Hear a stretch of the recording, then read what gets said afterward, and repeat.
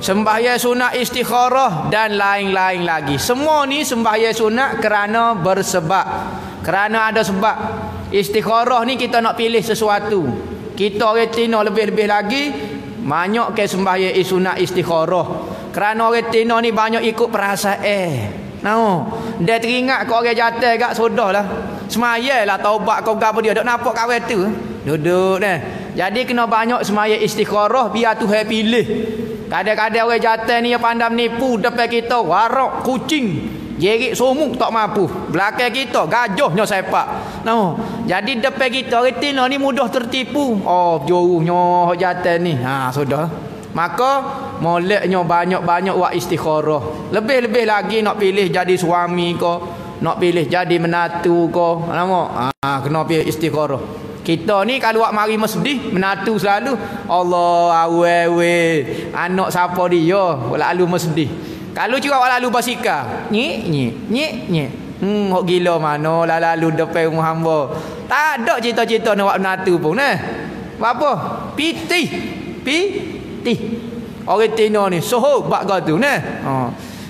Cik Abel dia kata nikah mudah-mudah lah. Tak boleh.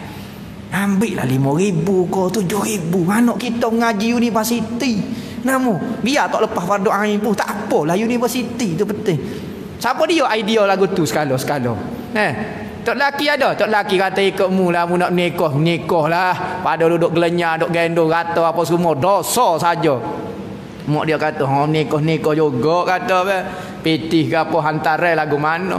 Nama, oh, lepas tu kakak dia tak ambil lagi tu, lakah benda tu. Nama, kalau nak uwi kau adik dia kena uwi kau kakak juga jaga hati dia lakah benda.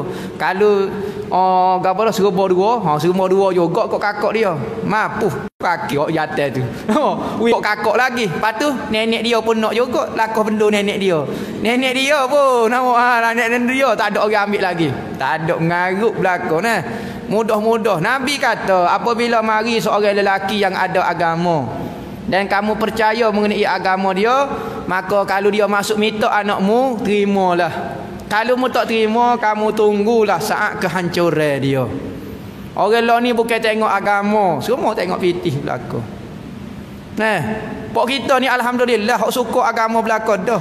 Tetapi kalau cari menatu, cari tok lelaki Kalau bos naik Honda bepoh mampu tengah jalan tolak tu gak. Hmm.